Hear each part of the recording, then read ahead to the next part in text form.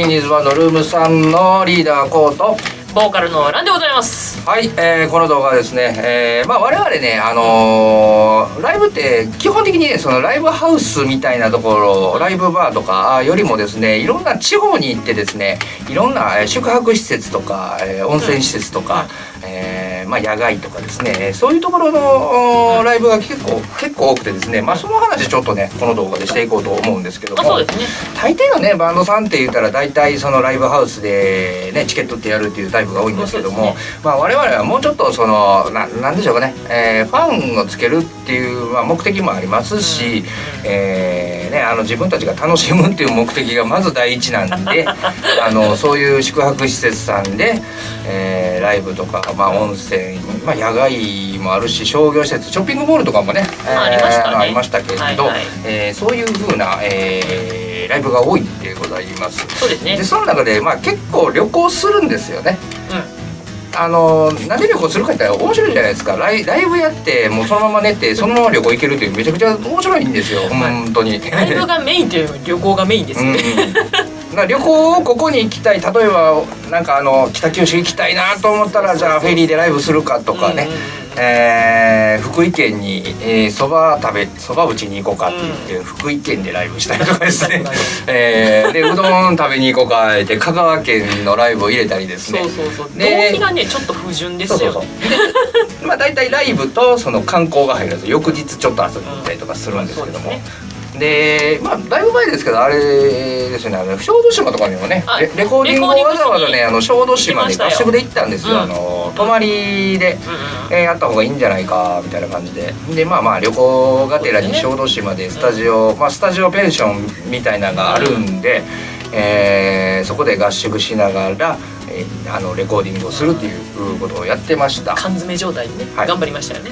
でそこですごいのがあのうちねこの人一応まあ女一人なんですよね。で男4人のバンドなんですよ。まあメインは男はももう一人なんですけどでサポートっていうかドラムとベース入れたら男4人になるというね。そうですよ。えーそれで、えー合宿行ってましたからね。まあね。いわゆる まあ逆ハーレムですよね。逆ハーレム女子一人に対して男しかおらへんみたいなね。どう？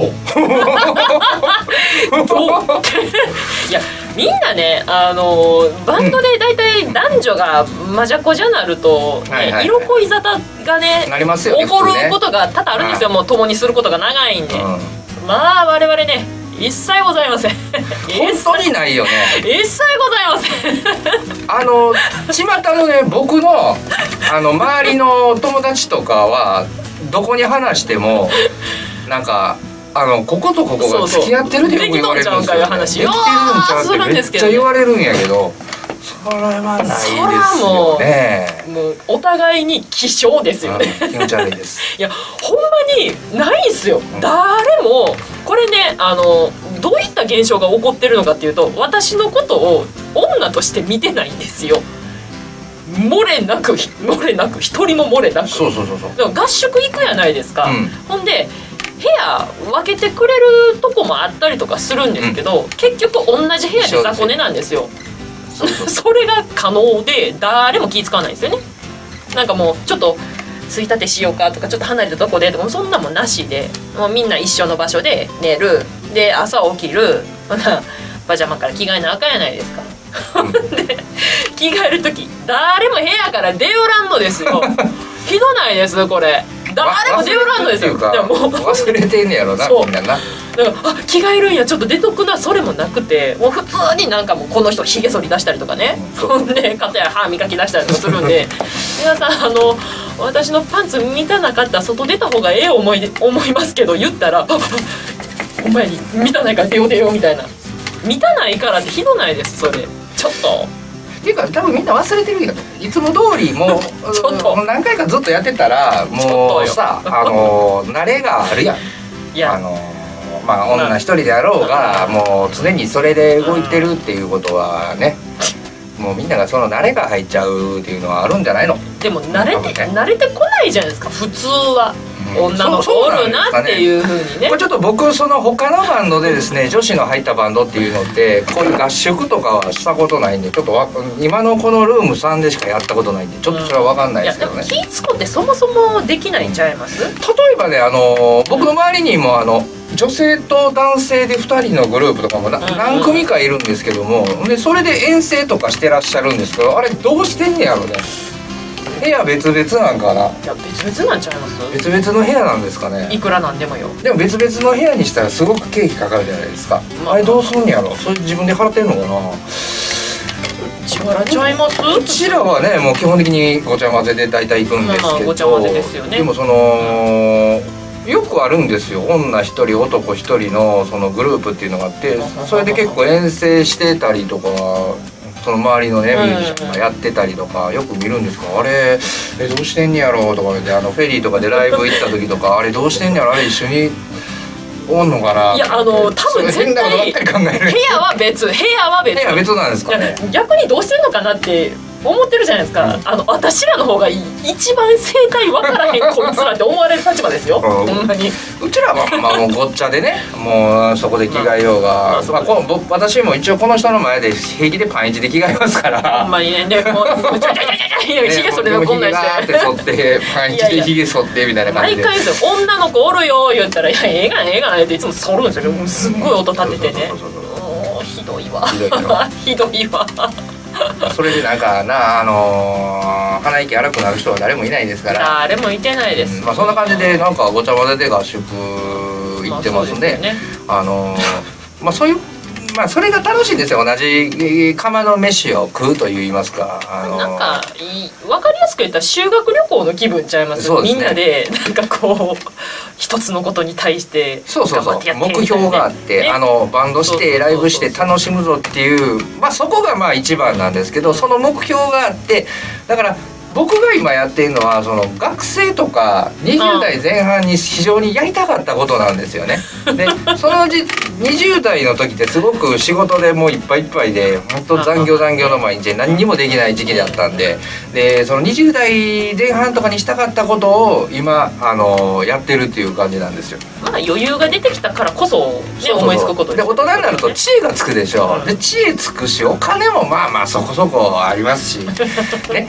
えー知恵ついてからやるとね意外とそのうまくいくんですよね。その今までのその仕事の考えとかを全部その今のライブとこのルームさんっていう活動に今つぎ込んでいってるんで、えーだから今までしてきた仕事のノウハウももういろいろあるんですよ私コンピューター得意なんであのコンピューターとかももちろんレコーディングとかの場合って今絶対必要になってくるんで、えーまあそのためにね、えーもうだからもうこのバンドのために今まで仕事してきたようなもんやねんな。まあ、ありとあらゆるなんかもう技を駆使して運営してらっしゃるんでねこの人がね。そうそう。なんでこんな本気でやるかって言ったらあのーまあ、好きなんですよね、うん。音楽とかみんなで楽しんでいくっていうのがね、えーいや気持ちいいじゃないですかそのライブでこうみんな拍手もらったら。まあまあそうですよね。最初なんてだって拍手のハの字もなかったもんね。まあそりゃそうでしょ。見れないもん動画が。もう消したもんだって YouTube から過去の動画。ほんまやねんこれ。ほんまに消しあのねもうかな。何週間か前あの過去動画あの、うん。まあ言ったらこうやって YouTube 本気でやり出す前の動画ですか、もうそれをどんどんどんどん消していったんです、おうおうおう。過去の汚点をね、うん。過去のまあ、それちょっとその YouTube の対策でもあるんですよね。そのあんまり再生されてない動画あんま置いとくのはあんま良くないということで、ね。まあ、それもあってうんじゃあもうあの過去動画消してやろうと思ってあの保存はしてるんでもう全然消してもいいやとかでも正直見られない原因のお主な理由って私じゃないですか言ったらうわ、うん。みたいなね。もうひどかったよ まあ、だもうだって自分でもひどいと思うもんあれは。ひどいひどいひどいひどい。ただね うちその歌うまとか楽器うまいで売ってるバンドじゃないっていうのがこれがまたねちょっと変わってるところなんですよ、うあの YouTube って大体うまい人が出てくるんですけどうちそんなうまないですよ。ん正直言ってね。もうなんかトータルバンドでトータルでこうおなんでしょうね。え塩と胡椒と味の素みたいな感じで、うん。えーそれが集まってこう一つの味になるという感じで考えてますんでね。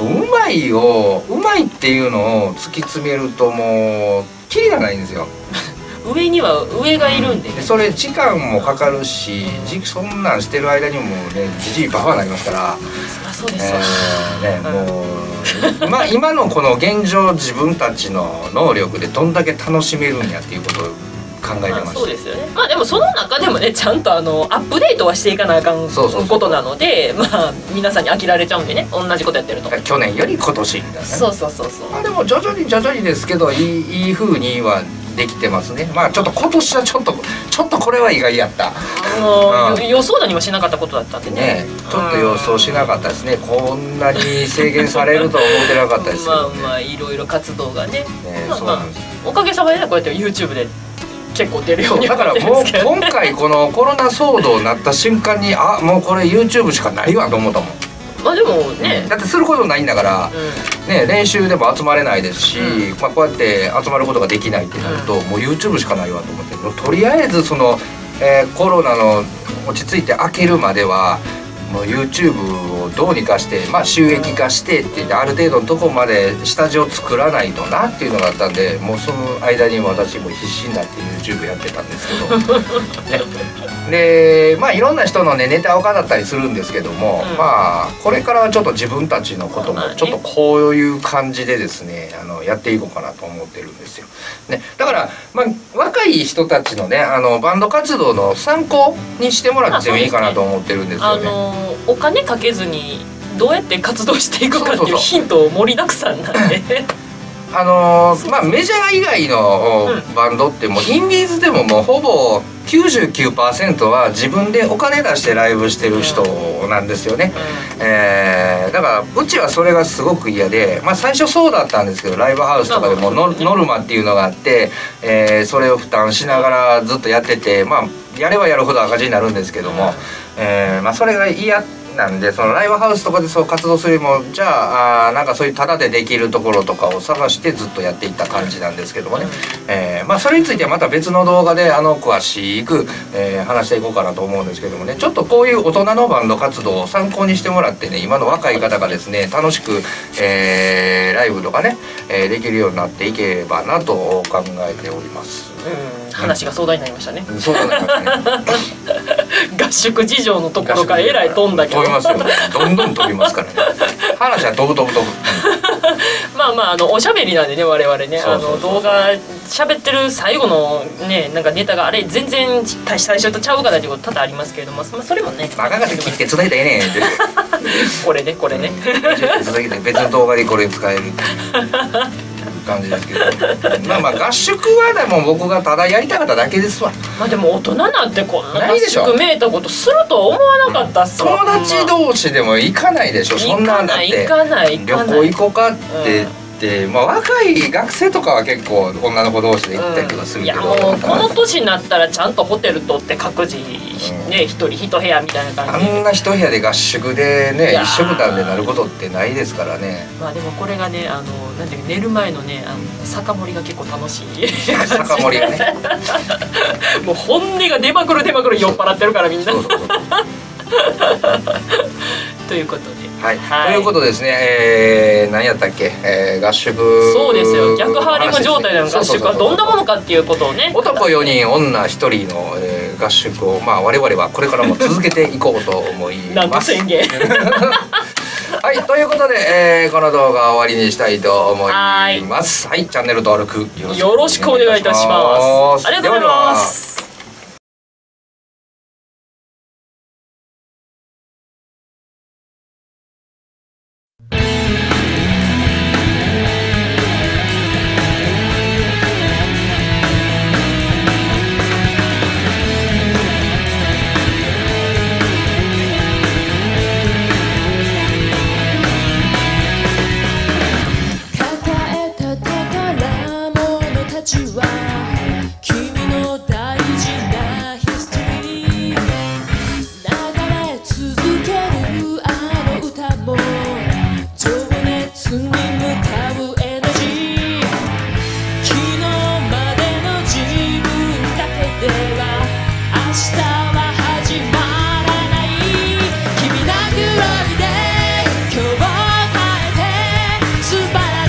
く